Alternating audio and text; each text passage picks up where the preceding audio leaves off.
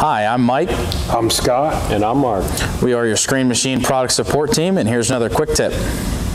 All right, so now that we have set the screen angle back here, uh, we want to move on to setting the angles on our side stackers that we've already got unfolded.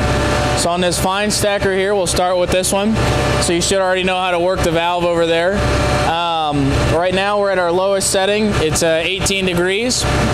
We've got it pinned in just like this. Uh, you'll only need to be working the valve section for the lower lower section of this conveyor like we were doing earlier.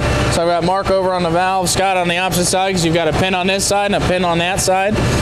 So we'll go ahead and remove these pins at the lowest angle. Go ahead and move up to the second hole. So for the first hole, your, your uh, inner tube hole will be down at the bottom hole in the outer tube. For the second pin location, we'll be moving up to 21 degree angle.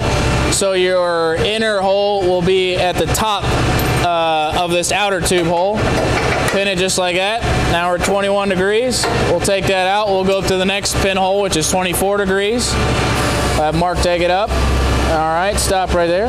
So now we've got our, our inner tube uh, hole lined up with the lower hole on our outer tube. Go ahead and put your pin in there. Obviously, if you're leaving it there, there use the keeper.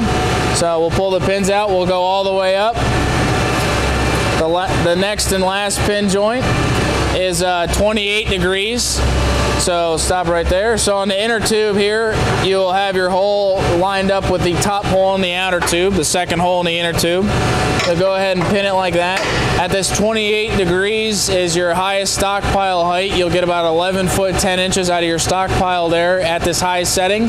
If you do use this highest setting, you really need to take into account your belt tension, uh, especially down by your chutes down here. So if you use this highest setting, you will need to, to loosen the tension on the belt or else you will uh, occur some belt damage. You'll see if you use this how tight it gets uh, down on the chutes in this pocket here. So you'll need to just be be, be aware of that and pay close attention to how tight your belt is if you're using it at this highest angle. In another video we'll show you how to tension and detension the belt as well. But um, so this this will we'll leave this at this angle and we'll head over to the uh, mids belt on the opposite side and do a similar thing there.